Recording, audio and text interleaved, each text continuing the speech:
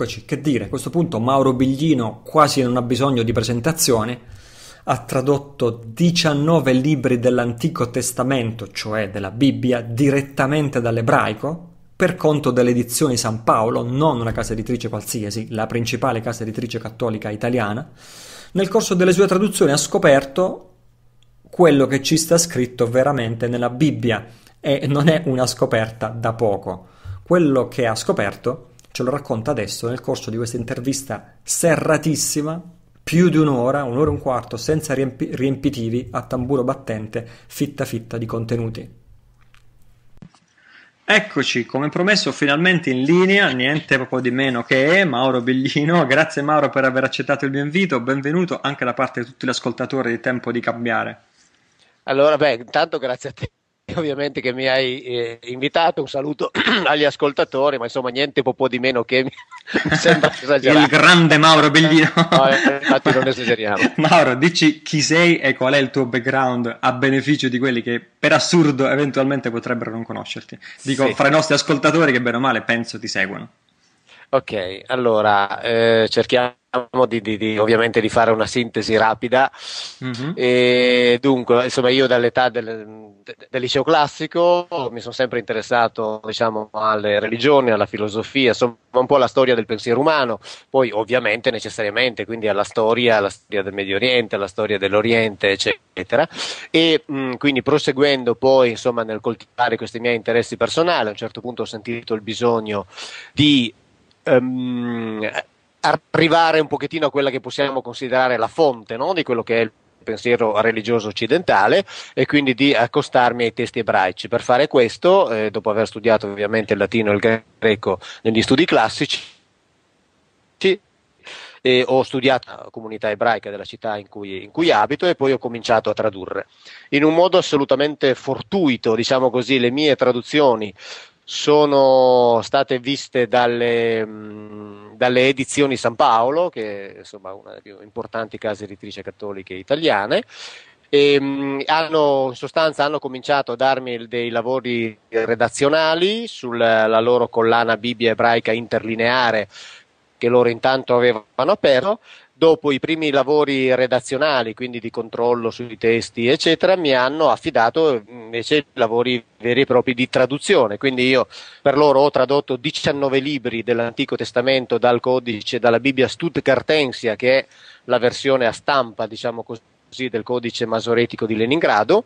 Ho tradotto 19 libri, 17 eh, sono stati pubblicati Mm-hmm. Gli ultimi due che hanno ancora, non, mi risulta, non siano più stati pubblicati perché nel frattempo io ho iniziato a scrivere i miei libri biblici, diciamo, no? quei, quei, quei saggi che sto scrivendo di, di, di, argomento biblico e ovviamente il rapporto con loro si è interrotto immediatamente perché capisco che loro non possano avere eh, come loro traduttore uno che scrive e dice le cose che scrivo e dico io. E quindi insomma io provengo di lì, quindi insomma tutto il mio lavoro proviene da questi anni di traduzione professionale fatta per loro sulla base di incarichi che prevedevano che io facessi una traduzione letterale ed è proprio da questa traduzione letterale che ho cominciato a evidenziare insomma tutta una serie di aspetti che sono quelli di cui parlo nei, nei cioè, miei libri. Cioè tu hai fatto delle traduzioni, i testi che hai tradotto alla fine sono sempre gli stessi, però sì. stavolta ne sono usciti fuori dei risultati a dir poco sorprendenti.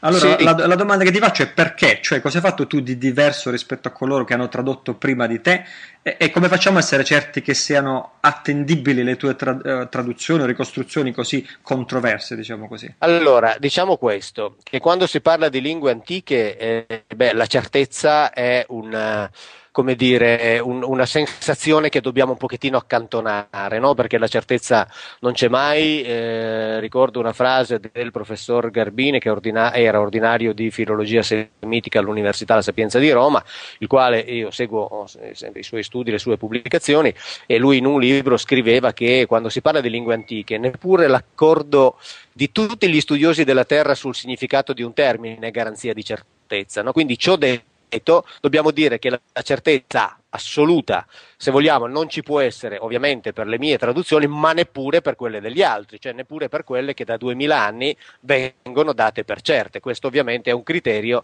che vale per tutti. Dove sta mm-hmm. la differenza sostanziale? È che chi traduce avendo in testa una, um, dire, un preconcetto diciamolo pure anche questo termine in senso positivo. Cioè, cioè sa, già, sa, già, esattamente dove vuole arrivare. Diciamo. Di ordine teologico o di ordine esoterico, iniziatico o, o, quant'altro, allora quando trova un certo termine, faccio l'esempio, quando trova il termine kavod, dice questa è la gloria di Dio. Bene. Quando io invece che traduco da, ho tradotto da laico e ho tradotto avendo l'incarico di fare la traduzione letterale, se trovo kavod, Kavod, dico che Kavod significa oggetto pesante e quindi quando Mosè vede una certa cosa che per i teologi è la gloria di Yahweh, io dico che Mosè vede un oggetto pesante di Yahweh. Ecco, in questo senso, ma Kavod è sempre Kavod per tutte e due. Mi spiego sia per me che uh-huh. per i mhm. teologi uh-huh. o gli esoteristi o quant'altro. Allora, la differenza dove sta? Sta nel fatto che io cerco di rimanere il più fedele possibile al significato letterale del testo, senza introdurre elaborazioni successive finalizzate a far passare una certa dottrina che invece è quello che ovviamente è stato fatto e viene tuttora fatto, ma non soltanto dalla Chiesa Cattolica, no? perché poi normalmente cioè è facile, uno dice ah beh la Chiesa Cattolica sono duemila anni che ci racconta favole, no, cioè le favole hanno cominciato a raccontarci i sacerdoti ebrei, continuano a raccontarcele anche una parte di loro, le favole, molte favole ce le racconta anche certo mondo esoterico, cioè quindi in realtà allora diciamo che io faccio finta, lo dico sempre nelle conferenze, che quando la Bibbia dice una cosa, quell'autore biblico volesse dirci proprio quella. Invece negli altri c'è questo atteggiamento, quando la Bibbia dice una cosa, in realtà ne vuol dire ah. un'altra mm-hmm. e in quest'altra ognuno ci mette la sua verità. Questa è la differenza sostanziale. Mm-hmm, molto interessante, molto interessante. Eh, prima di proseguire su questa, su questa, via, vado un attimino off topic a fare una domanda parzialmente off topic. Nel, il, um, il pubblico di, fra, nel pubblico di questo podcast ci sono tanti liberi pensatori, fra virgolette, sì, alcuni, bene, alcuni, dei quali sono anche detti complottisti o cospirazionisti ah, okay, che vanno a studiare la, la, la, parte occulta della storia o dell'attualità. E insomma, sì. per farla breve, in internet circola un dibattito, per così dire, su una tua eventuale passata affiliazione alla massoneria da cui poi ti saresti distaccato. Per sì. me questo di per sé, per me personalmente non significa assolutamente nulla, però a beneficio di coloro che stanno speculando che potrebbero esserci degli scopi occulti in tutto quello che sì, fai a sì. causa di queste tue adesioni passate o presenti, credo okay. che questa sia la tua chance di dire la tua su questa vicenda. Vabbè, vabbè, cioè, lo, l'ho già detto alcune volte, ma poi cioè, so bene che allora, ehm, per quanto uno possa dire, poi chi vuol credere certe cose continuerà a crederle perché, ovvi- ma, ma, è normale, fa parte del gioco, quindi no, non è un problema. Allora, circola il dibattito su una mia filiazione massonica perché la mia filiazione massonica è, è stata dichiarata da me, cioè il dibattito circola perché io in, una, in, un dialogo, non mi ricordo più, insomma, qualche, avevo scritto allora appunto che siccome io sono stato in massoneria, certe cose le, le conoscevo dall'interno, eccetera. Bene, quindi sono io che l'ho dichiarato, non perché qualcuno l'abbia scoperto, ma oltretutto io, lo, io dichiaravo la mia appartenenza quando c'ero dentro, nel senso che io non l'ho mai nascosta perché è assurdo nascondere una propria appartenenza ad un ordine come, eh, come quello. Io ne sono uscito circa dunque dieci, una decina di anni fa, diciamo così, sì, più o meno 10-11 anni fa. Uh-huh. Ci sono stato dentro per, per, parecchi anni, appartenevo a una delle due grandi obbedienze regolari italiane, una la più grande è il Grande Oriente d'Italia, l'altra è la Gran Loggia d'Italia. Io appartenevo alla Gran Loggia d'Italia degli Alam, cioè degli antichi liberi accettati muratori, che è un'obbedienza tra l'altro cui circa il 32-33% è costituito da donne, perché questa è una delle cose anche che, non, uh-huh. che, spesso, che, spesso, non si sanno, quindi insomma il 30% di questa grande obbedienza è costituito da donne e quindi io, apparte, io, appartenevo a questa. Ci sono stato un certo numero di anni, dopodiché sono uscito perché non, non mi interessava più eh, starci e, ehm, e, quindi io dichiaravo la mia appartenenza quando c'ero, l'ho in assoluta tranquillità dichiarata dopo dicendo appunto ricordo che insomma quando c'ero dentro e, e perché insomma si dicevano delle cose che non corrispondevano ovviamente a, a verità perché poi sulla massoneria perché poi si confonde, no? si, si, mette dentro tutto, voglio dire ci sono le obbedienze regolari e alle quali tra l'altro consiglierei questi complottisti di, di, di, di, ci pare, proprio perché almeno così si rendono conto dall'interno di che cos'è veramente al, al di là di ciò che viene detto. E, ehm, e poi ci sono, come dire, ci, ci, sono delle obbedienze, diciamo così, non regolari, non, non riconosciute, sono centinaia, sono in Italia sono più di cento di queste obbedienze qui, ma sono obbedienze spesso formate da 50 persone, 150 persone, 200 persone che si autodefiniscono massoni, ma non sono massoni riconosciuti da, da nessuno, da nessuna obbedienza regolare mondiale. Bene, mm-hmm. e, e allora la massoneria è una grande costellazione, una grande galassia dove dentro c'è il buono e c'è il cattivo come ovunque. Poi ci sono ovviamente, se ci sono i cosiddetti, e ci sono eh, ovviamente perché ci sono in tutte le categorie, i cosiddetti deviati, beh, quelli sono i delinquenti, ma quelli sono criminali di per sé, in quanto sono criminali come uomini, non, non in quanto mm-hmm. massoni, perché la massoneria in sé ha dei principi sociali che, devo dire, se fossero applicati, farebbero cambiare un po' il rapporto tra gli uomini e aiuterebbero tutti a vivere meglio. Il problema è che purtroppo la massoneria è fatta da uomini e gli uomini alle volte proclamano dei principi poi non li rispettano. Eh, è, lo stesso, questo, è, lo stesso, questo fa parte del, que- esatto, questo, vale quindi questo, questo, fa parte del gioco. Va quindi bene. questo è.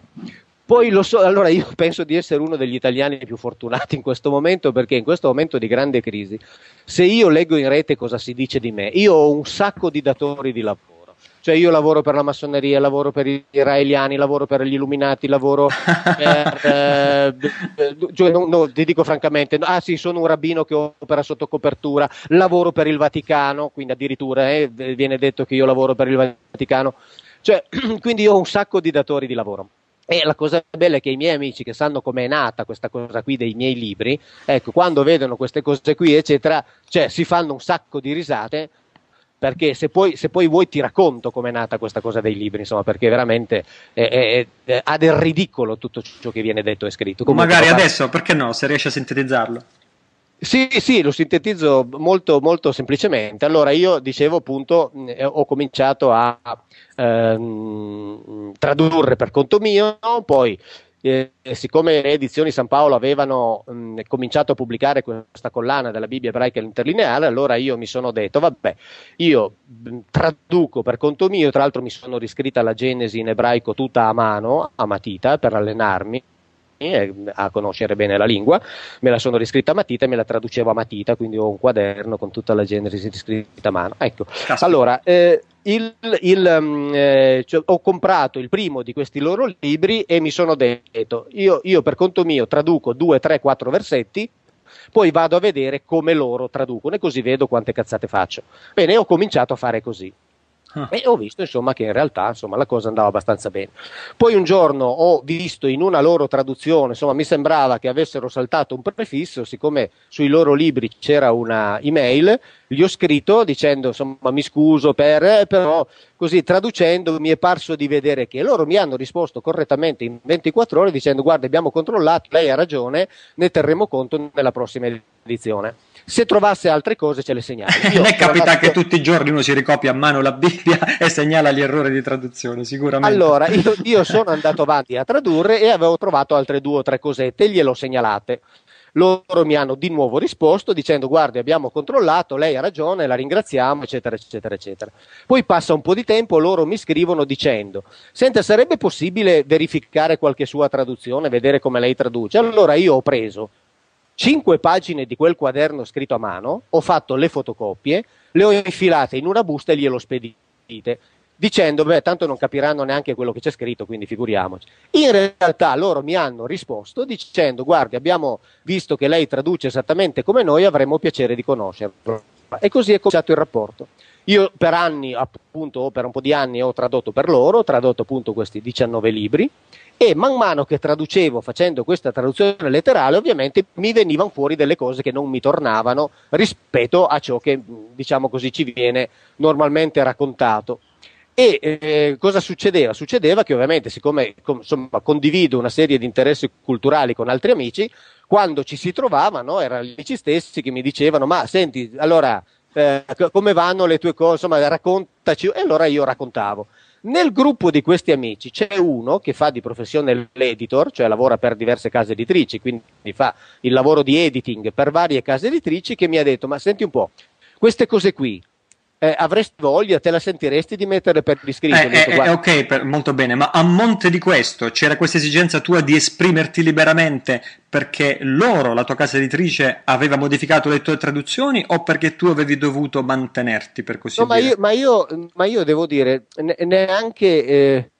Non è neanche che avessi questa esigenza di esprimere liberamente, perché in realtà non pensavo assolutamente di, di mettere per iscritto queste cose e di divulgarle, cioè era una conoscenza mia, come altri studi che porto avanti per conto mio, senza sentire il bisogno di. Ma di quindi le traduzioni met- che tu presentavi alla casa editrice erano già addolcite, come posso no, dire? Allora, io pre- presentavo le traduzioni, poi come si fa in tutte le case editrici, ciò che viene fatto da un autore passa al vaglio del comitato di redazione, il quale poi pubblica liberamente perché così è eh, insomma, la regola editoriale, no? e quindi poi dopo loro pubblicavano ciò che era passato al loro vaglio, no? e quindi con le necessarie variazioni, eccetera.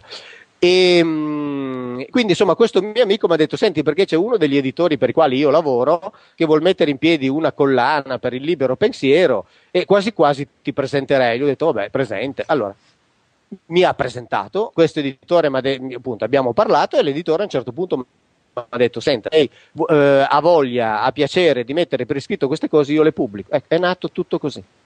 In modo assolutamente casuale. Che poi sarebbe poi la tua attuale caso... Ca- sì sì, che, sì. c'è chi dice che il caso non esiste, ma eh, questa sarebbe altra discussione. Diciamo è nato così, cioè nel senso che uno che fa l'editor ha detto: Senti, se vuoi ti presento a, a questo editore che vuol mettere in piedi. Benissimo, ho detto: Vabbè, andiamo a incontrarlo, vediamo. E, boh, e questa cosa mi ha stravolto la vita. Poi di qui vengono fuori tutte le interpretazioni dietrologiche, però tanto ognuno è libero di pensare ciò che vuole e io non posso fare altro che raccontare le cose come sono avvenute. Va bene, poi chi ci vuole credere ci crede e chi non ci vuole credere non ci crede, non è un problema mio. Va bene, grazie Mauro. Uh, la Bibbia è considerata una sacra scrittura da chi la considera tale eh, eh, perché sarebbe stata dettata o ispirata o trasmessa da Dio. Sì. Ora, se quello che ho appena detto è sbagliato o i conti non tornano da qualche parte, chi è, chi è, in realtà l'autore della Bibbia e perché l'ha scritta la Bibbia? Con quali intenzioni o motivazioni è stata scritta? Beh, intanto gli autori sono tanti e sono per lo più sconosciuti, uh-huh. nel senso che la Bibbia è un insieme di racconti messi per iscritto da tanti autori nel corso dei secoli, racconti che tra l'altro ciascuno di questi è stato anche riscritto, è stato emendato, è stato tagliato, è stato implementato, perché tutti quelli che nei secoli nei secoli hanno avuto in mano la Bibbia e avevano il potere per farlo, ovviamente ci hanno messo del loro.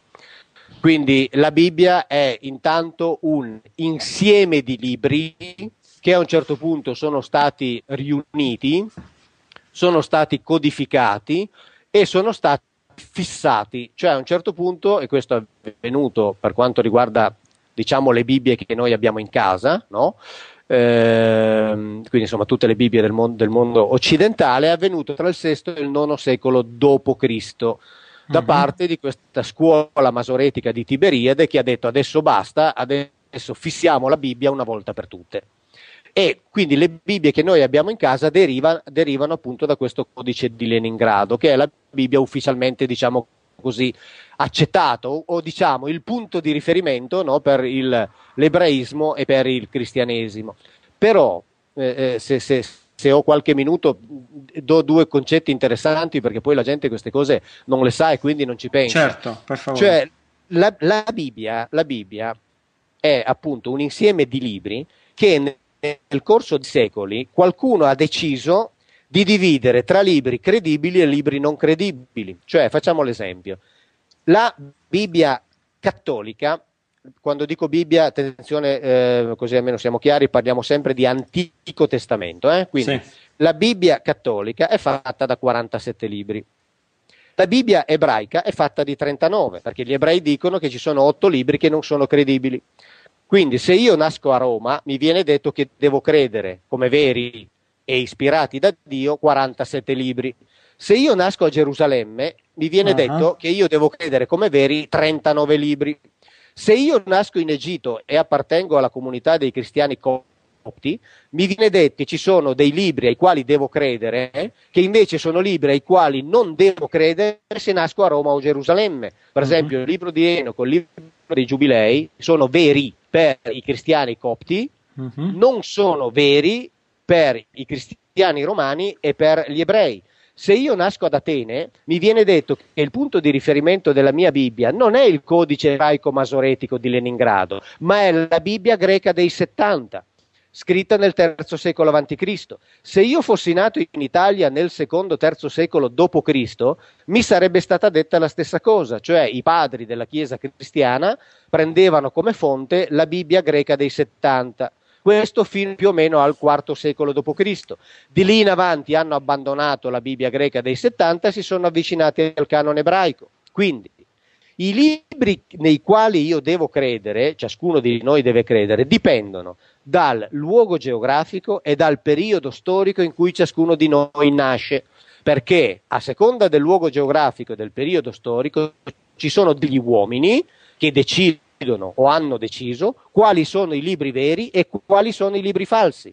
Ma tra i libri veri, così almeno faccio un quadro e, tu, e la gente capisce, ci sono migliaia di variazioni cioè tra i primi cinque libri, ad esempio, del codice masoretico. Cioè fra quelli considerati veri in una tradizione, veri, quelli considerati anche veri in un'altra tradizione.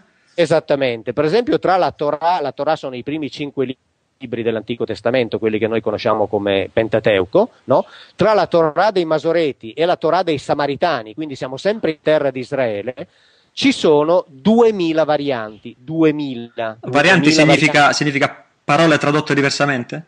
No, no, no, proprio scritte diversamente, o parole che ci sono in una e non ci sono nell'altra. Uh-huh. Um, cioè proprio variazioni, no? che ovviamente da variazioni più piccole a variazioni più importanti. E i samaritani dicono noi siamo i custodi della legge, i masoreti dicono noi siamo i custodi della tradizione, duemila varianti. Tra la Bibbia greca e la Bibbia masoretica ci sono mille varianti di nuovo, allora se io nasco ad Atene mi si dice che quella vera è quella greca, se io nasco a Gerusalemme o a Roma mi si dice che quella vera è quella masoretica.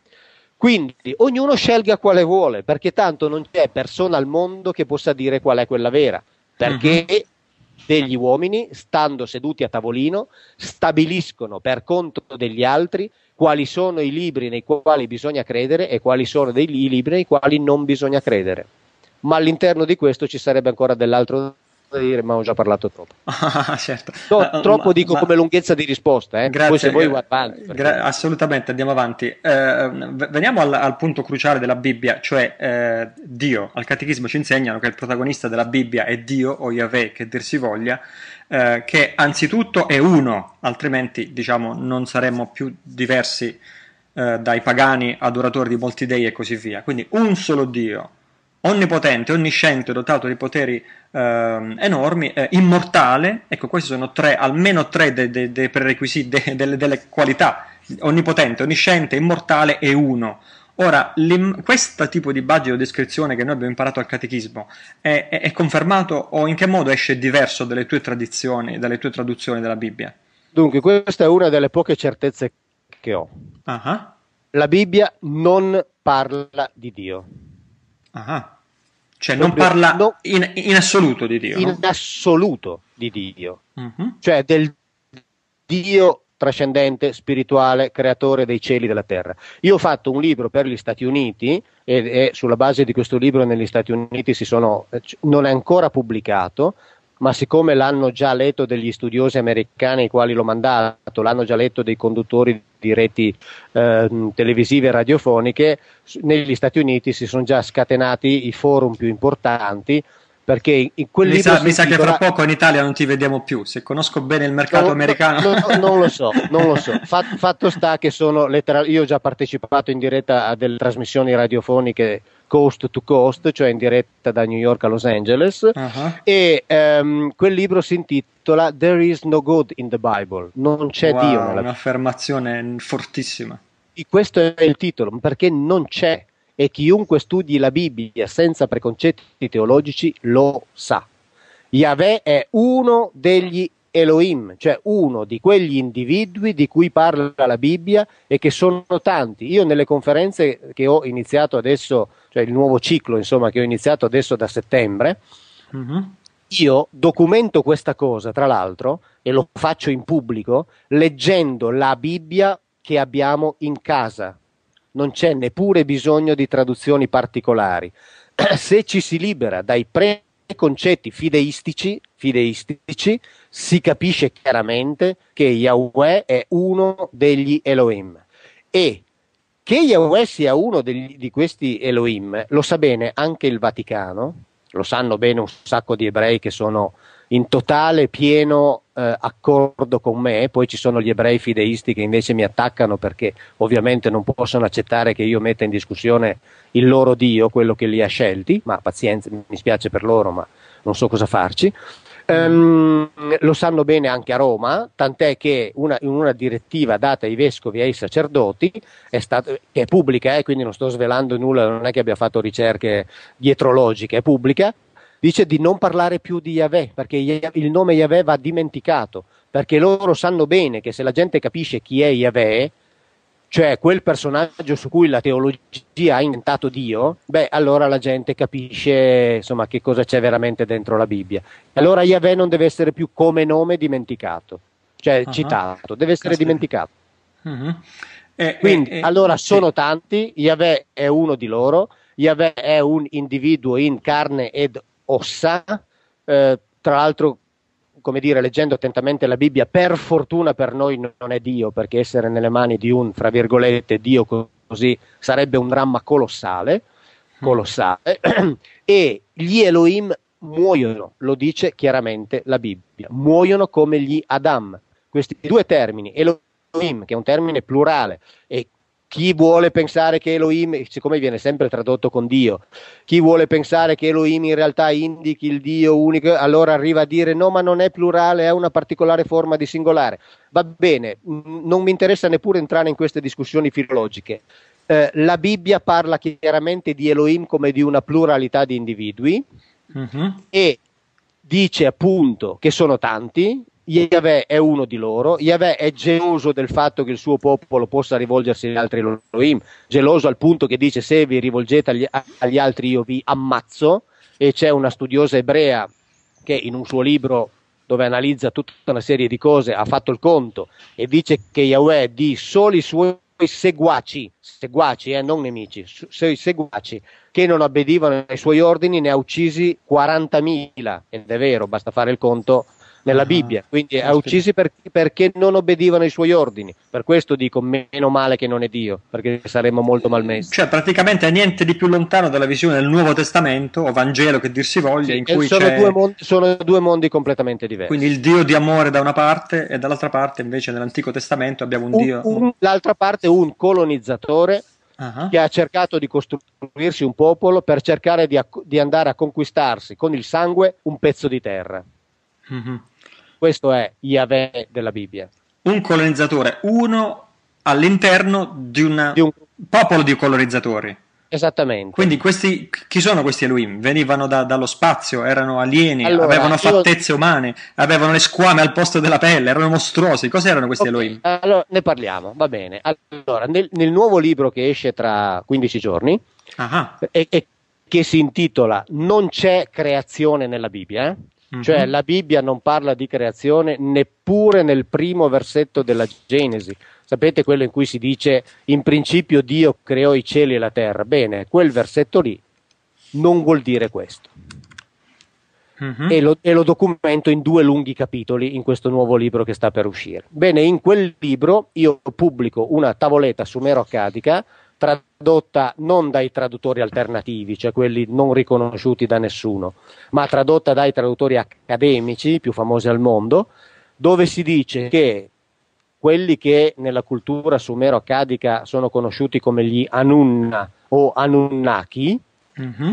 provengono da una dimora celeste, una dimora celeste che era priva di vegetazione, e dice che questi stavano lì quando ancora non erano arrivati sulla terra.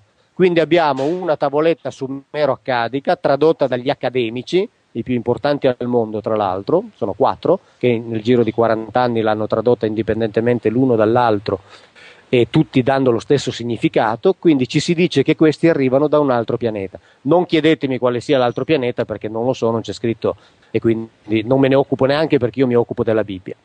E, e, di, e di, questo Bibbia, di, questo la Bibbia, non fa menzione, di questa nulla, provenienza nulla, di questa... Nulla, nulla, nulla. C'è soltanto, e questo l'ho scritto nel libro Il Dio alieno della Bibbia, eh, c'è soltanto un possibile piccolo aggancio. Quando la Bibbia poi dopo eh, ricordami che devo parlarti del possibile aspetto fisico degli Elohim, eh, perché mi avevi chiesto questo. Ah, certo. Allora, quando la Bibbia parla dei Nefilim, cioè i cosiddetti giganti, e tra l'altro in due passi dice pure che questi giganti avevano sei dita per ogni arto, ma questo lo trovate anche nelle traduzioni sì, sì, sì, delle Bibbie che avete in casa, eh? quindi non c'è bisogno di traduzioni particolari. Ah, ehm, questo, Nefilim è il termine che viene tradotto con giganti.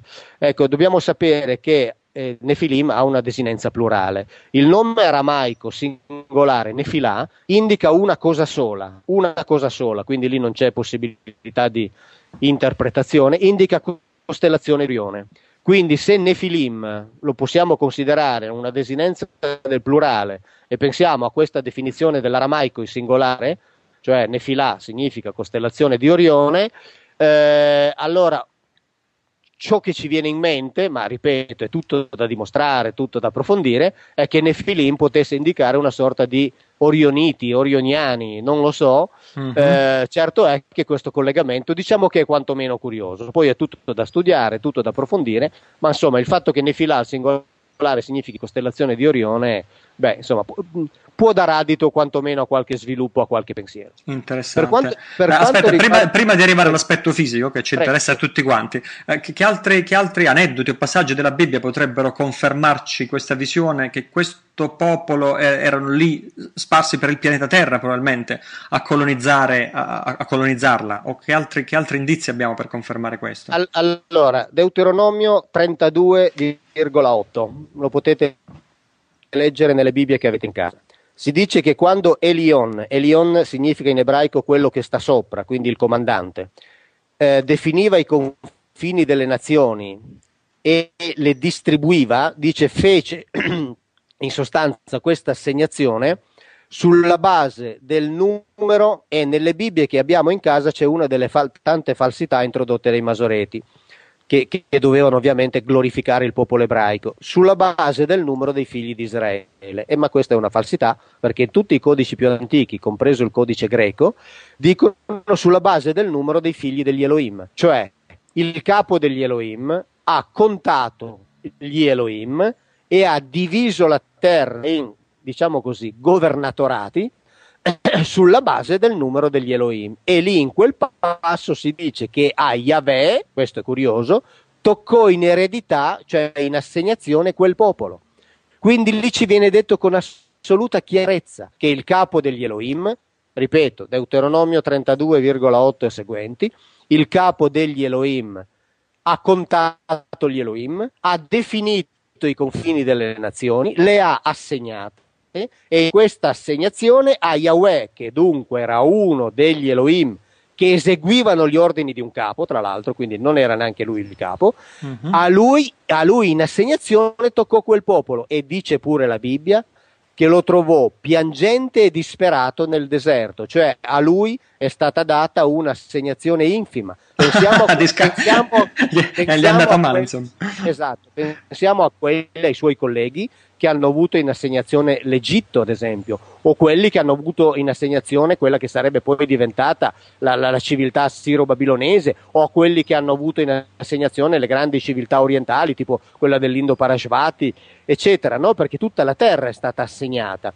Bene, Yahweh ha avuto questo e mi si dice, mi si dice dal mondo giudaico-romano, mi si dice che probabilmente Yahweh era un Elohim giovane, doveva farsi le ossa e doveva dimostrare di che cosa era capace. Questo mi arriva da persone interne al mondo giudaico-romano, mm. cioè che fanno parte di quel mondo giudaico aperto, cioè non viziato dal pensiero teologico dove si dice Yahweh è il Dio universale e Yahweh è quello che ha scelto noi. No, ci sono gli ebrei che sanno bene chi era Yahweh. Un'altra espressione che ti ho sentito ripetere spesso guardando un po' i tuoi video, le tue conferenze, quando dici questi accampamenti, erano riuniti in accampamenti, qualcosa del sì, genere? Sì. C'è un bellissimo passo che non viene mai commentato da, da, da nessuno, che è in Genesi eh, 32. Scusa, eh, sto andando a memoria, ma siccome sto correggendo l'ultimo libro che deve uscire ho in mente decine di, di, di, di citazioni bibliche, quindi mm. potrei anche sbagliare, ovviamente. Mm-hmm. Eh, allora si dice che quando dunque Giacobbe, Giacobbe è uno dei tre patriarchi, no? abbiamo tutti in mente almeno insomma, Abramo, Isa- Isacco, Giacobbe, quindi insomma i tre patriarchi da cui teoricamente sarebbe derivato il popolo, dico teoricamente perché i rabbini americani scrivono apertamente che non sanno neppure se Abramo sia veramente esistito, chiusa uh-huh. parentesi.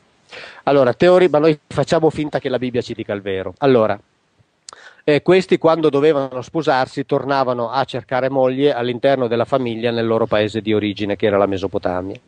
Allora Giacobbe fa lo stesso, fa come ha fatto suo padre Abramo, cioè suo nonno Abramo, suo padre Isacco, va a cercare moglie. Quando ritorna quindi con le mogli, perché poi è andato a cercarne una, ma in realtà è tornato con più di una, con le, le mogli, la sua tribù, i servi, gli animali, gli elementi, eccetera, arriva a un certo punto e, e, e si dice che due Malachim gli vengono incontro. Ora, Malachim è il termine ebraico che, viene, che significa messaggeri, portaordini in sostanza, o anche eh, guardiani o esecutori di ordini, per conto degli Elohim, ed è il termine che viene normalmente tradotto con angeli, ma come scrivono, e questo me lo scrivono anche gli ebrei che mi attaccano, dove scrivono, analizzando i miei libri, che il fatto che nella Bibbia i Malachim non siano esseri spirituali, gli ebrei lo sanno da sempre, quindi l'esistenza delle entità spirituali angeliche nella Bibbia è una delle tante invenzioni teologiche, uh-huh. perché non ci sono, proprio non c'è nessun dubbio, non ci sono.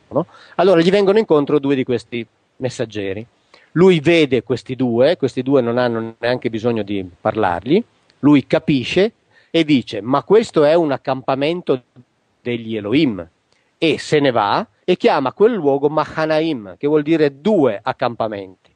Ah. Quindi vuol dire che lui lì ha visto due accampamenti e la cosa è spiegabile in due modi diversi. Uno, quando ci sono, siccome questi Elohim avevano una gerarchia militare, quando ci sono degli accampamenti stanziali dei militari c'è, c'è l'accampamento della truppa che è fatto di tende di un certo tipo e c'è l'accampamento degli ufficiali e dei comandanti che è fatto di un altro tipo. Quindi chi lo osserva dall'esterno vede due tipi di accampamenti e quindi può benissimo definirli due. Attenzione, siccome i Malachim sono appunto gli esecutori degli ordini degli Elohim, i Malachim sono la truppa rispetto agli Elohim che erano gli ufficiali. Ma c'è un commento di Rashid Troai, eh, che è uno, forse il massimo commentatore ebreo di tutti i tempi della Bibbia, eh, siamo intorno all'anno 1000, il quale dice che lì in quel passo ci si riferisce a due schiere, cioè c'era una piccola schiera che seguiva Giacobbe nella sua marcia di ritorno verso, da, diciamo dalla Mesopotamia verso il territorio di Canaan. Giosu- eh, Giacobbe arriva a, su un posto dove c'era il confine, un confine, e al di là del confine c'era un'altra schiera di questi qui. Quindi Rashid Truai dice che quando Giacobbe eh, definisce Mahanaim, quel luogo, si riferisce a due accampamenti appartenenti a due schiere. Una che era quella che tutelava una parte del confine, uh-huh. l'altra che era quella che tutelava l'altra parte del confine. Uh-huh. Interessante. E, e, e, quindi, tornando alla domanda che ti facevo prima, cioè gli autori della Bibbia non intendevano compilare un testo di religione, raccontavano Adesso, quello che succedeva. È, è un libro... modo, nel modo più assoluto. Guarda, ti leggo una frase perché questa ce l'ho qui stampata sulla mia scrivania assieme ad altre, di questi ebrei, ebraisti, filologi che cercano di demolire il mio lavoro, ma che poi di fatto sono costretti a, a, a, ad accettare, a riconoscere tutta una serie di cose. Scrivono su varie cose, Mauro Biglino ha ragione. La Bibbia, come egli afferma, non è un libro di religione. Mai, mai gli autori biblici originali hanno avuto in mente un libro di religione, loro scrivevano delle cronache per come gli venivano raccontate. Dopo è stato trasformato in un libro di religione. Mm-hmm. Veniamo all'aspetto fisico degli Elohim. sì, allora c'è un bellissimo racconto che è il racconto di quando Abramo incontra tre di questi qui. Cioè Abramo si trova sotto la quercia di Mamre, insomma con le sue tende, con la sua tribù, in assoluta tranquillità. E dice, dice la Bibbia, che gli vengono incontro, siamo per chi lo volesse controllare, siamo in Genesi capitolo 18. Allora, gli vengono incontro tre che la Bibbia definisce Anashim. Anashim è il plurale di Ish. Ish significa individuo maschile. Quindi io sono un Ish, tu sei un Ish. Mm-hmm. Noi due assieme siamo due Anashim, ok? È uh-huh. chiaro? Fin- sì. no? Benissimo. Siamo due Anashim. Bene. Allora gli vengono incontro tre Anashim. Lui li riconosce immediatamente, capisce che appartengono a quelli là, li invita e dice, siccome questi arrivano camminando, attenzione, li invita e dice, allora entrate da me, lavatevi, sempre erbi al plurale, lavatevi, riposatevi, ristoratevi, vi faccio preparare del cibo, così potete mangiare e bere, poi potete cons- continuare il vostro viaggio. Bene, questi tre si fermano, mangiano, bevono, si, si lavano, si riposano, poi due di questi partono e vanno verso la città di Sodoma e adesso vi racconto cosa vanno a fare. Uh-huh. Uno rimane lì e dalla Bibbia scopriamo che quello che rimane lì è Yahweh. Ok? Quindi tre Anashim, due se ne vanno e adesso andiamo a vedere cosa vanno a fare, quello che rimane è Yahweh. E Yahweh racconta ad Abramo che cosa sta per succedere alla città di Sodoma dove viveva il nipote di Abramo, Lot. Uh-huh. I, due, I, due, che partono e partono camminando, vanno verso Sodoma, vengono da quel momento in avanti chiamati Malachim, cioè questi due Anashim, cioè questi due individui maschi, uh-huh. nel momento in cui vanno ad eseguire un compito, diventano dei Malachim, cioè diventano dei portaordini per conto di Yahweh. Uh-huh. Quindi abbiamo la chiara descrizione del fatto che sono tre individui maschili simili mm-hmm. a mhm. noi. Poi più avanti, se vuoi, raccontiamo in che cosa potevano essere diversi. Allora, questi due vanno a Sodoma. Eh, il nipote di Abramo era seduto, come succedeva con, con gli altri anziani, alla porta de- della città, li vede arrivare. Come li vede arrivare, capisce subito che appartengono a quelle altre schiere, cioè non sono dei normali Adam. Adam è il termine ebraico col quale si identifica la specie umana, che era diversa dagli Elohim, che erano un'altra specie. Uh-huh. Anche, se, anche, se, come dice la Bibbia, poi se vuoi ne parliamo, sessualmente compatibili. Uh-huh. Comunque, allora, questi due vanno, eh, Lot li vede, li invita ad entrare a casa sua. Questi due raccontano a Lot che Lot deve immediatamente abbandonare Sodoma perché gli Elohim hanno deciso di distruggerla, raderla al suolo, cosa che avviene poi in effetti il giorno successivo. Allora, gli uomini di Sodoma di, hanno capito qual era lo scopo di questa missione, cercano di catturare questi due, questi due Malachim, cioè quindi questi due individui maschili che vengono chiamati Malachim, termine col quale si intende teologicamente gli angeli, cosa assolutamente assurda, mm-hmm. cercano di catturarli, questi riescono a divincolarsi, si, si, chiudono, si barricano dentro, quindi pensate agli angeli che si barricano dentro la casa di Lot, è ridicolo solo pensarlo, ovviamente, okay.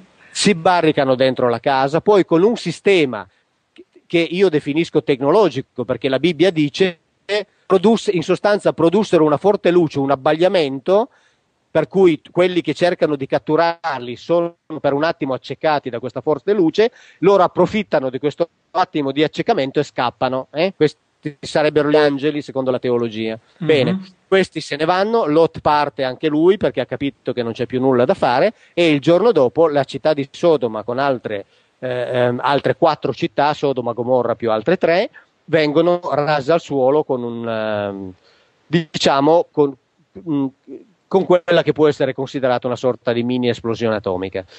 Uh-huh. Ehm, e quindi vengono completamente azzerati. Quindi allora, questi Elohim sono individui assolutamente simili a noi, cioè mm, due, due braccia, due gambe, uh-huh.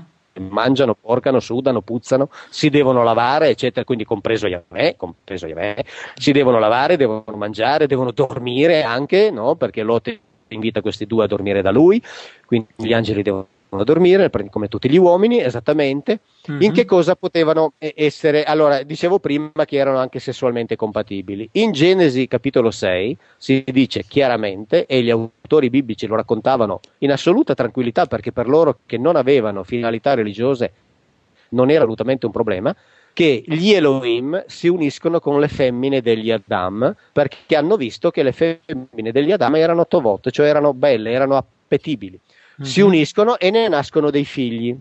Uh-huh. Questi figli la Bibbia li definisce i Gibborim, che vuol dire uomini famosi, uomini di fama, uomini di potere. E non sarebbero anche i famosi o- giganti?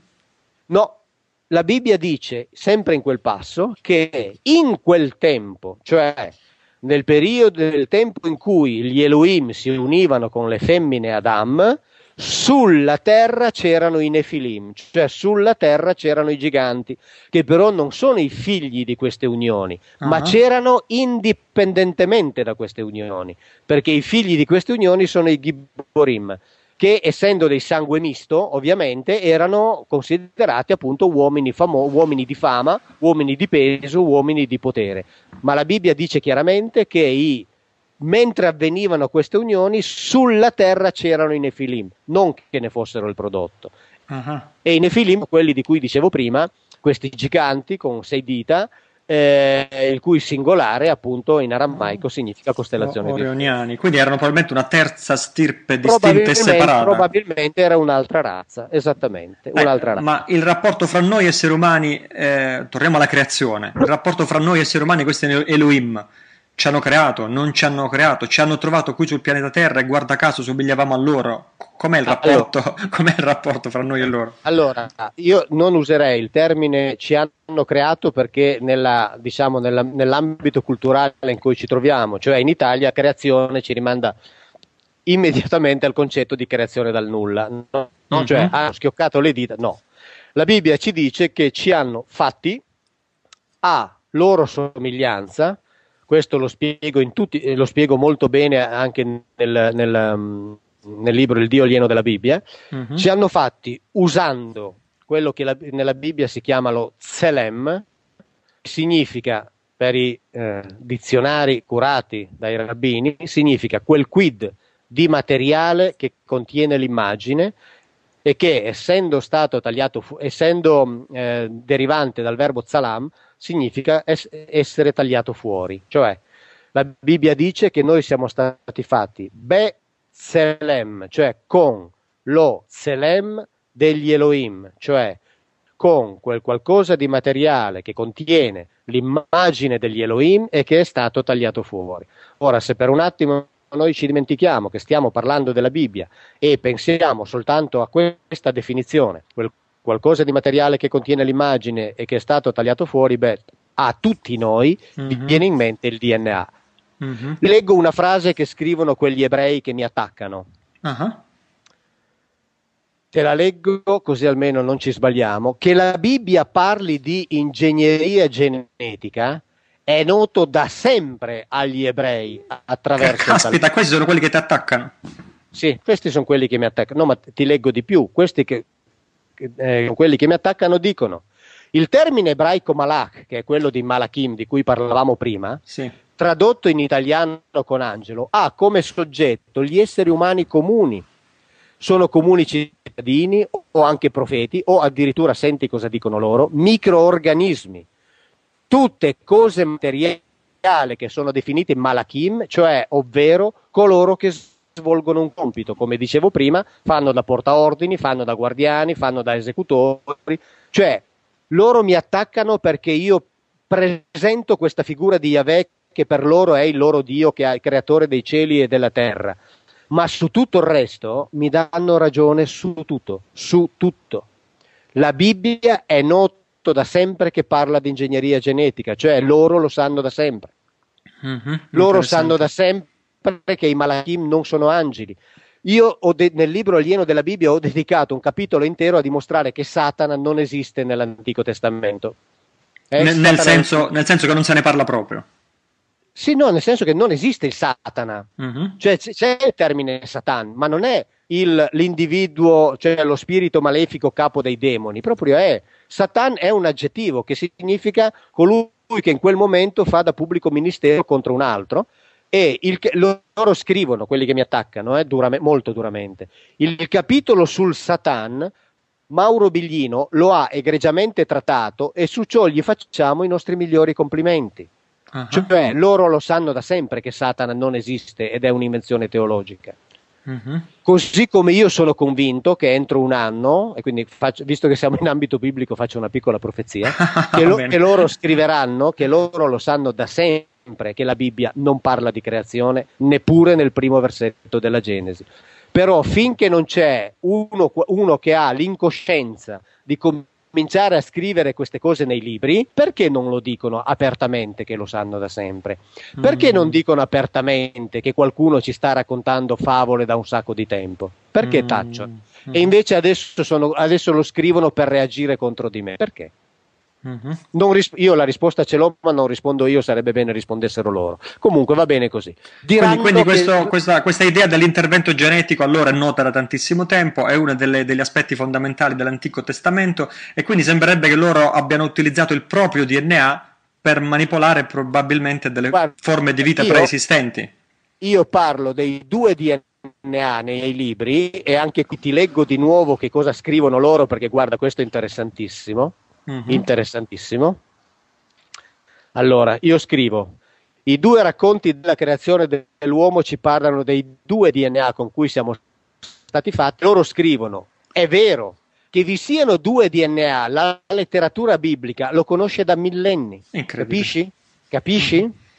Mm-hmm. Però, però io questa cosa l'ho scritta un anno e mezzo fa nel Dio alieno della Bibbia io è un anno e mezzo che io vengo insultato, deriso, attaccato perché mi si dice che solo un deficiente può scrivere cose del genere. Dopo un anno e mezzo, due di attacchi, derisioni, insomma, di tutto quello che si scrive di me in rete, una parte l'hai citata anche tu prima, mi, viene, mi viene detto che loro, che gli ebrei lo sanno da sempre che la Bibbia parla dei due DNA. E, quali, sarebbero, io, quali sarebbero questi due DNA? Adesso lo spiego, io questa cosa l'ho rilevata traducendo l'ebraico. Incredibile che la Bibbia parli di due DNA, l'ho rilevata traducendo l'ebraico. I due DNA sono il DNA degli ominidi che, lo, che questi Elohim hanno trovato su questo pianeta e quella piccola parte di, di, DNA loro che loro hanno introdotto negli ominidi per far fare questo salto evolutivo. Io nel libro che, di cui ti dicevo prima che ho scritto per gli Stati Uniti, There is no God in the Bible, io lì dedico, intanto dedico un capitolo intero alle attività del Vaticano sul studio della vita extraterrestre e uh-huh. questo, capitolo, questo capitolo lo manderò ad un certo gesuita perché cito, cito, lui che è quello che controlla tutta questa conoscenza vaticana su questo mondo che qui. sembra siano estremamente all'avanguardia nel mondo. Eh, sì sì sanno tutto sanno tutto. Quindi mm. io lo manderò a lui chiedendogli se secondo lui ho scritto delle stupidaggini visto che lo cito. E poi e poi questo libro io dedico, dedico un capitolo intero a entrare nelle diatribe ferocissime. Noi in Italia non, non ne abbiamo neanche la più pallida idea che invece negli Stati Uniti esistono tra creazionisti e darwinisti e quindi intervengo eh, presentando la, una, una, una, ipotesi che io chiamo eh, eh, diciamo che, intervention che, theory che paradossalmente le abbraccia entrambe esattamente che io chiamo intervention theory che spiega come mai manca l'anello mancante che non, non troveranno mai eh, esatto. e, che spiega, e che spiega come mai dai nostri cugini primati a noi c'è un salto dalle 24 alle 23 coppie di cromosomi che nessun genetista è in grado di spiegare. Mm-hmm. Mm-hmm. Okay. Ed, è que- ed, è per questo che lì nei forum americani e nelle trasmissioni si stanno scatenando su questo lavoro. Mm. Incredibile. Eh, eh, ehm, eh, questo, questo, uno dei pezzi forti della Bibbia ci ha già accennato a questa spartizione del pianeta per zone di influenza fra i vari Elohim, ma uno dei pezzi forti è comunque questa storia complicatissima della relazione fra Dio o Yahweh e il suo popolo eletto cosiddetto. Allora, a parte il fatto che gli ebrei diventano il popolo eletto perché vengono assegnati a Yahweh, ma al di là di questo, sai, molti di noi tendono a, di- a, dimenticare completamente la cronologia della Bibbia che hanno studiato da bambini, magari. Puoi farci una specie di riepilogo, sia pur breve, cronologico, come dire, di qua- in, in, secondo quali tappe si, si, si manifesta il, il, il, percorso del rapporto fra Yahweh e, non so, i principali patriarchi del popolo ebraico e in generale la storia del popolo ebraico? Ok, allora, la premessa è sempre facciamo finta che ciò che c'è scritto nella Bibbia sia vero, ok? Quindi mm-hmm. con questa premessa, allora Abramo viene collocato diciamo tra il 1900 e il 1700 avanti Cristo. Abramo viveva in Mesopotamia, con ogni probabilità era quindi un sumero.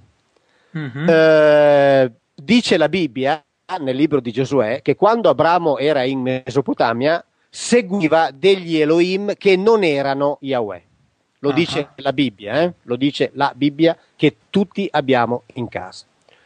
Quindi seguiva degli Elohim che non erano Yahweh. Poi arriva Yahweh, lo chiama e gli dice: Vieni con me, che ti porto a, in sostanza, conquistare un territorio che poi assegnerò a te e alla tua discendenza. E lo porta in terra di Canaan. Quando è in terra, da quel momento, Abramo cessa di seguire gli Elohim mesopotamici e si mette a seguire Yahweh. Uh-huh. Poi quando arriva e vanno in terra di Canaan, quando arriva una grande carestia in terra di Canaan, Abramo è costretto a spostarsi in Egitto per trovare cibo. Quando si sposta in Egitto, Abramo, lo dice la Bibbia, cessa di seguire Yahweh e si mette a seguire gli Elohim che governavano in Egitto, perché Yahweh in Egitto non ci poteva mettere naso, perché non era territorio suo. Uh-huh. Quindi abbiamo Abramo che segue degli Elohim in Mesopotamia, poi Abramo che sceglie di dire di sì a questa chiamata di andare a conquistare un territorio, segue Yahweh, quando si sposta in Egitto cessa di seguire Yahweh perché deve seguire gli Elohim che comandano in territorio egiziano.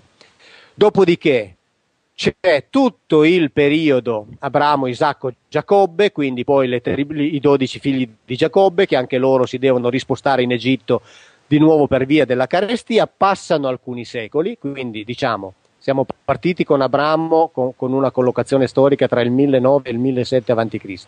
Uh-huh. Arriviamo al momento di Mosè. con Mosè viene collocato, perché ovviamente non si, sa, non si ha nessuna certezza, viene collocato tra il 1400 e il 1200 più o meno avanti Cristo. Eh, scusate, Mosè viene collocato tra il 1400 e il 1200 avanti Cristo. Lì ricompare questo Yahweh che, dice, che dà incarico a Mosè, in sostanza, di portare fuori questa gente dall'Egitto mm-hmm. per mhm. tentare di ricostruirsi un popolo. Tant'è che Mosè deve tenere nel deserto, diciamo così, in questo territorio, per molti decenni questo popolo, perché era un popolo che non esisteva più, lo dicono i rabbini stessi, eh, dicono che il, che il popolo ebraico è in realtà un lungo prodotto di una fusione di elementi semiti, non semiti, nomadi, seminomadi, abitanti di Canaan, che tutti assieme in un lunghissimo periodo hanno costruito l'identità israelitica. Quindi in realtà non ha portato fuori dall'Egitto gli ebrei, ha portato fuori dall'Egitto un insieme di genti che poi lui ha fatto diventare popolo. Mm-hmm. Ehm, quindi li ha tenuti lì e come dice una studiosa ebrea, Mosè ha avuto avuto l'incarico di istituire in questo territorio un campo di addestramento paramilitare, tra l'altro eh, come dire, governato con regole poliziesche ferocissime, perché appunto uccidevano tutti i dissidenti, tanto per capirci, mm-hmm. immediatamente, sen- senza nessuna pietà, perché non ci si poteva permettere di avere dissidenti all'interno. E, ehm, e quindi eh, siamo appunto tra il 1400 e diciamo più o meno il 1300-1200 avanti Cristo. Dopodiché c'è il periodo lunghissimo dell'insediamento nella terra di Canaan, no? quindi quando sono finalmente pronti per tentare di andarsi a conquistare, pian pianino cominciano la penetrazione, poi eh, c'è il, per- il cosiddetto periodo dove loro sono governati da quelli che si chiamano i giudici e poi finalmente arriviamo intorno all'anno 1000 con i regni di Davide e Salomone e poi di, comincia diciamo la storia più conosciuta, quella della divisione tra il regno di Giuda e il regno di Israele. Quindi questa è molto sinteticamente la cronistoria. Interessante. E i rapporti durante tutta questa storia fra Yahweh o i governanti Elohim e il popolo? Che, ok, nella storia che stiamo esaminando, quella del popolo eletto, del popolo ebraico, ma diciamo per, per che cosa li usavano questi? Li usavano per, per, per, li governavano a quali scopo? Per farsi servire, per farli sì. lavorare. Allora, allora e, e ci sono anche dei messaggi profondamente antiumani che noi possiamo de- decodificare nell'Antico Testamento, tipo la richiesta di, di, di, castrarsi, la circoncisione, i sacrifici, sacrifici animali, sacrifici umani addirittura. Eh, cioè, che tipo di rapporto, che, che cosa richiede a questo pop- al, al, al popolo che governa? Governa questo governante Elohim? Allora, Yahweh era appunto, come ho detto, un normalissimo colonizzatore, ovviamente potentissimo rispetto al, pe- al popolo su cui lui eh, governava, e quindi il rapporto era di un solo tipo. Lui dava gli ordini, gli altri dovevano eseguire, pena la morte. Mm-hmm. che veniva combinata con, eh, grande, con grande facilità. Quindi il popolo doveva seguire e servire lui. Tra l'altro all'interno di que- seguire e servire lui e soprattutto appunto doveva ovviamente eseguire gli ordini che venivano impartiti tramite Mosè che era il comandante in campo per conto di, per conto di Yahweh e Mosè doveva appunto costruire questo piccolo o grande esercito col quale andare, tentare di andare a conquistarsi un pezzo di terra minimamente vivibile la cosiddetta terra promessa o terra di Canaan. Uh-huh. Eh, all'interno di questa, di questa, gente, poi Yahweh si è scelto un gruppo particolare, una famiglia, eh, come che, quella che noi chiamiamo la famiglia dei sacerdoti, ma noi abbiamo in testa l'idea del sacerdozio che è quello nostro, no? cioè la persona che riceve una cosiddetta vocazione e che si deve dedicare a, a, alle, anime portarle, alle anime dei fedeli per portarle a Dio. Ecco, i Koanim, cioè i cosiddetti sacerdoti di, di, quel popolo, nulla hanno a che vedere con questo. Erano probabilmente servitori a tempo pieno. Servitori a tempo pieno al suo diretto servizio. Mm-hmm. Tra l'altro, questi, eh, come è scritto chiaramente nella Bibbia, lui li voleva senza difetti fisici. Cioè mm-hmm. chi avesse avuto un difetto fisici, fisico non doveva e non poteva occuparsi di lui, anche se apparteneva a quella famiglia. Mm-hmm. Eh, perché questi avevano questi Elohim avevano ovviamente delle esigenze particolari. Pensiamo che in Egitto, questo me lo diceva un'egittologa, i, i, dei sacerdoti che dovevano occuparsi dell'allevamento degli animali per conto dei diciamo colleghi Elohim di Yahweh, che in Egitto erano i cosiddetti Shamshuor, cioè i compagni di Horus, bene, questi sacerdoti che dovevano occuparsi di allevare gli animali di cui poi si nutrivano questi qui, non solo non dovevano avere difetti fisici, ma dovevano essere belli esteticamente. Mm-hmm. Se non si era belli non ci si poteva occupare dell'allevamento dei loro animali. Quindi avevano insomma delle esigenze, esigenze molto particolari. Diciamo che Yahweh si accontentava del fatto che non avessero difetti fisici, non li cercava belli. Ecco, almeno mm-hmm. questo almeno questo glielo, do- glielo dobbiamo riconoscere. Uh-huh. E quindi, quindi, questi qui si dovevano occupare di lui, si, si, dovevano occupare del suo cibo. E nel suo cibo c'erano anche i modi che lui indicava chiaramente con, delle, con, degli ordini precisi in cui preparargli certe parti dei corpi, cioè per esempio certe parti di grasso che lui voleva che gli venissero bruciate perché lui doveva annusarne il fumo, questo lo dice chiaramente la Bibbia e, e la Bibbia dice chiaramente che questo fumo era per lui Nihoach. Ora Nihoach è un altro di quei termini appunto che chi eh, ha in mente l'idea del Dio trascendente, ovviamente non vuole assolutamente accettare quindi mi viene contestato. Nihoach vuol dire tranquillizzante, eh, calmante, lenitivo. E eh, io adesso nelle conferenze mi f- faccio anche vedere con una, la fotocopia di uno dei dizionari più importanti di ebraico biblico eh, stampati negli Stati Uniti, che Nihoach ha solo quel significato lì. Quindi non è neppure che tra tanti significati uno si vada a cercare quello, ha solo quel significato lì. Cioè quando Yahweh usava il fumo di quel grasso preparato nel modo ordinato da lui, lui si calmava. E questo lo voleva assolutamente e, ass- e chi si fosse appropriato di quelle parti di grasso per farne un uso personale doveva essere messo a morte. Mm-hmm. E tra l'altro in due passi della Bibbia, sia in Esodo che in Levitico, anzi in tre, Esodo, Levitico e in Ezechiele, si dice chiaramente che c'è stato un lungo periodo nel quale facevano i sacrifici umani, cioè in, in particolare gli dovevano sacrificare i primogeniti quando avevano otto giorni. Questo valeva sia per gli animali che per gli uomini. Ah, ok. E, e, ehm, eh, ora, diciamo, eh, tu non ti sei mai occupato nei tuoi studi, nei tuoi scritti, o perlomeno in quelli pubblicati, di Nuovo Testamento, no? eh, ti sei sempre, sempre, concentrato le tue competenze sull'Antico Testamento. Ci sono molti scritti antichi del, nella cristianità originaria, chiamiamola così, o la cristianità gnostica, lo, lo gnosi, lo gnosticismo, che sono, hanno uno stampo fortemente polemico, per non dire anti, cioè contro l'Antico Testamento, cioè affermano che il mondo eh, sarebbe sotto l'influenza di che se è sotto l'influenza di un dio è semmai sotto l'influenza di un dio malvagio che, che, che, che, presiede la materia, un dio dell'oscurità, un dio delle tenebre e così via, e che il vero principio del bene o della luce non si trova in questa dimensione materiale, ma si trova nella dimensione spirituale da cui gli esseri vengono prima di nascere e a cui ritornano dopo la loro morte.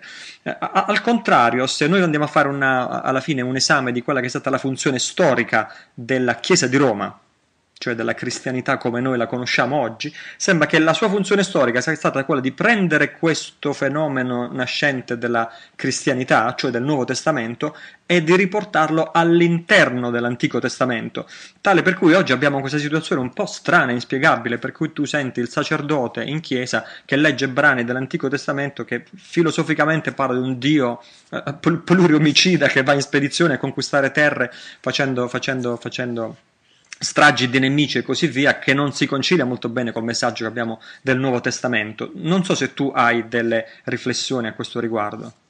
Sì, sì, ne ho, ne ho di molto chiare. allora, io il Nuovo Testamento, allora io non mi occupo pubblicamente del Nuovo Testamento perché adesso devo, voglio occuparmi ho scelto così, cioè ho cominciato così e quindi per il momento vado avanti così, mi occupo del, dell'Antico Testamento. Eh, il Nuovo Testamento però l'ho letto in greco e l'ho studiato nel corso della mia vita, l'ho letto in greco almeno una quindicina di volte, quindi l'ho, diciamo, l'ho, stu- mm. l'ho studiato molto bene, però non ne parlo. Però, eh, allora tesi... è a maggior, no, no, no, no è a maggior ragione interessante sentire cosa ne pensi. allora, le tesi gnostiche che tu ehm, hai così fedelmente e, esattamente riportato, in effetti sono eh, ovviamente il prodotto del pensiero ellenistico del tempo. Uh-huh. E questo pensiero ellenistico però ha colto una verità, cioè che il Dio dell'Antico Testamento non è il Dio buono, è un governante. Poi possiamo definirlo malvagio, pluriassassino. Possiamo riconoscere il fatto che se non faceva così non raggiungeva il suo obiettivo, perché lui ha preso un insieme di persone, individui anarchici, allevatori di capre o cose del genere e l'ha dovuto trasformare in un popolo. Quindi quando lui diceva voi siete un popolo di dura cervice, beh, insomma, come dire, voi capite soltanto le bastonate e lo possiamo capire. Quindi possiamo, non dico giustificare, ma capire perché lui ha dovuto attuare certi metodi pol- di una ferocia poliziesca ah, indescrivibile. Ah, ah, Quindi quando gli gnostici dicono che il cosiddetto Dio dell'Antico Testamento, ecco, se, se vogliamo sottolineare un, un, possibile, non so come dire, un errore, ma è una parola grossa, commesso dagli gnostici, è usare la parola Dio la parola Dio, esatto. di Yahweh. Yahweh non era un Dio, ecco. Però che l'Antico Testamento fosse sotto un individuo che certo non era un individuo buono, un individuo che amava l'umanità, beh, questo gli gnostici l'hanno capito chiarissimamente. E quindi, ed è la stessa cosa che dico anch'io, se poi esiste Dio, cosa di cui io non mi occupo perché io di Dio non so nulla, del Dio, diciamo dell'eventuale Dio vero, io non so nulla e ho la buona abitudine di non parlare di cose che non conosco. Uh, quindi io non ne so nulla. Ecco, se poi esiste Dio, beh, è un'altra cosa. Cioè, se esiste un Dio creatore dei cieli e della terra, un Dio di amore, benissimo, esiste, non lo metto in discussione perché io non ne so nulla. Di certo non è il Dio della Bibbia. Così come quando nel nuovo libro io documento che la Bibbia non parla di creazione, io non intendo dire che non è mai esistita la creazione in assoluto, perché io non lo so come sia nato l'universo. Uh-huh. Questa è una domanda alla quale possono rispondere da un lato la fede per i credenti, dall'altro prima o poi magari forse risponderà la scienza. Io dico solo che la Bibbia non parla di creazione, non che non ci sia mai stata la creazione in origine, perché io non so come sia nato l'universo. Mi spiego? Quindi, quando gli gnostici dicono che questo Yahweh della Bibbia non è il Dio buono, il Dio d'amore, hanno totalmente, assolutamente ragione proprio è un, totalmente, assolutamente un'altra cosa. Interessante, molto interessante.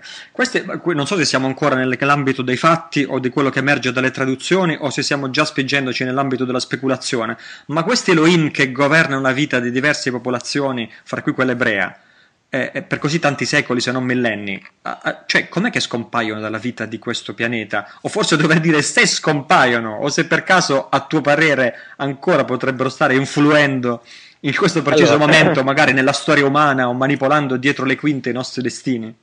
Allora, siccome la Bibbia non dice nulla in merito e io cerco di attenermi alla Bibbia perché altrimenti poi mi dicono che faccio l'ufologo che fa... e quindi insomma già ah. me ne dicono troppe quindi vorrei evitare di, di mettere sul fuoco eh altra certo, benzina. Eh certo. Ecco esattamente perché poi ogni parola che io dico viene presa e mi viene come si dice ogni cosa che dici potrà essere usata contro di te. In eh, questi due eh, anni ti, ti, garantisco che veramente questo sta avvenendo con una precisione veramente chirurgica. Tutte allora quelle... diciamo, diciamo diciamo, que- diciamo questo. diciamo questo, che il, il, um, la Bibbia non ci, eh, non ci, dice nulla, cioè da un certo punto in avanti si capisce solo che il rapporto con questi qui non c'è più. Mm. Um, quindi ti rispondo, guarda, con le parole di un reverendo presbiteriano statunitense di New York, il um, reverendo Barry Downing, il quale dal punto di vista della interpretazione ufologica, lui è un credente in Dio, eh? lui svolge regolarmente il suo ministero di pastore presbiteriano, uh-huh. quindi proprio a, eh, anche in, a conferma di quello che ho detto due minuti fa, no? che se poi esiste Dio è un'altra cosa, ma quindi Dio può esistere, quindi è eh, ovviamente oggetto di fede. Allora lui, lui, dal punto di vista delle interpretazioni bibliche eh, ufologiche è molto più avanti di me. Io sono molto più cauto rispetto a lui e lui, ripeto, è un pastore presbiteriano. Lui dice che questi qui sono venuti qui, che la religione mosaica è il frutto del loro intervento, chiaramente, lui non ha nessun dubbio, e che questi qui ancora controllano come si stanno sviluppando le cose. Caspita. Uh-huh. Questo lo dice padre Barry Downing, col quale io tra l'altro rapporto diretto, nel senso che ci scambiamo studi su una serie di passi biblici. Uh-huh. Uh, Mauro, che dire? A parte che dire a tutti gli ascoltatori che a, a questo punto Mauro Biglino ci ha dedicato, cioè il mio cronometro non è errato, già ben più di un'ora, e quindi ringraziarti tantissimo. Sicuramente um, um, raccomandare a tutti gli ascoltatori assolutamente, innanzitutto se uno ama vedere, guardare, ascoltare, ci sono un'infinità di video delle conferenze, eh, delle conferenze che Mauro Biglino tiene settimanalmente in tutta Italia ormai da tanto tempo e devo dire, anzi... Devo dire, devo dire, infaticabilmente perché vedo che sei costantemente ogni weekend in una diversa città. Eh, dici, sì, dici, io ho una fortuna che vivo da solo, quindi non devo discutere i miei orari e la mia vita con nessuno, perché la mia vita è stata completamente stravolta, come puoi immaginare. Eh, certo. E io vado solo dove mi chiamano, cioè io non ho mai organizzato una conferenza e se la gente smette di chiamarmi, io torno a fare ciò che facevo fino a, a due anni e mezzo fa che al sabato e la domenica io pratico ciclismo, al sabato e la domenica io faccio ciclismo sulle Alpi italo-francesi, cosa, cosa che ho dovuto abbandonare, ma ripeto, se la gente io non ho la vocazione, come dire, del missionario, devo andare a predicare. Se la gente smette di chiamarmi o di fare conferenze, perché non ne ho mai organizzato una in vita mia, devo dire che ne ho di prenotate fino a novembre dell'anno prossimo, però. Quindi temo che la gente caspita, Caspita, caspita. Incredibile. Mauro, riepilogaci quali sono i libri che hai scritto fino ad ora e se vuoi dirci quali sono i tuoi pro- progetti futuri o quelli che hai più a cuore o dove vedi, allora, dove vedi andare allora, il tuo lavoro, insomma. Allora, visto che, che, che, abbiamo parlato anche di massoneria, io ho scritto un libro che si, intitolo, si intitola Chiesa romana cattolica e massoneria, realmente così diverse? Poi Caspita, questo interesserà tantissimi dei nostri ascoltatori. Poi ho scritto, ed è un libro che non fa dietrologia, ma mette a confronto i principi fondanti delle due organizzazioni così come sono dichiarati nei loro testi. Ok? Mm-hmm. Un, un, un'analisi parallela, sinottica, diciamo così. Poi ho scritto il libro che si intitola così, un titolo che insomma non è che mi piaccia, ma insomma alle volte i titoli vengono discussi con gli editori. È il libro che cambierà per sempre le nostre idee sulla Bibbia. Mm-hmm. Poi ho scritto il Dio alieno della Bibbia e a fine ottobre esce Non c'è creazione nella Bibbia. Mm-hmm. Hanno, hanno, immagino una sorta di, di, di, di, progressione nel discorso che fanno, quindi magari sarebbe consigliabile guardarsene in un certo ordine. E allora diciamo che l'ordine esatto sarebbe quello che io ho detto.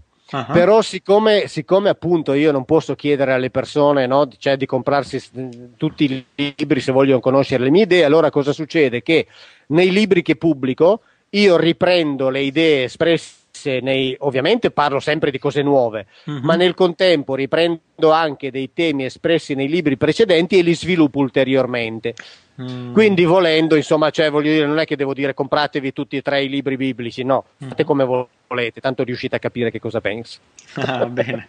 Eh, altri progetti futuri? Veramente sarai più spesso, diventerai famoso in America? Di, eh, allora, io mm, eh, che se io dirlo, ma io sono sicuramente più conosciuto negli Stati Uniti che in Italia, eh, anche, certo, se certo. libro, anche, se là un libro, cartaceo non c'è ancora. So che in un libro di Jim Marsh, che è uno che vende decine di milioni di copie, eh, mi ha già scritto che nel suo libro che esce a fine febbraio mi citerà tre volte. Mm. Eh, vabbè, poi ci sono dei programmi insomma, a livello internazionale che però per scaramanzia per adesso non, non ne parlo. E poi per restare in contatto con il tuo lavoro c'è anche il blog che probabilmente... Ma, no, allora, no, per restare in contatto con il mio lavoro la cosa migliore è iscriversi, perché io non posso più avere amici perché sono già 5.000, quindi Facebook non mi fa più aggiungere.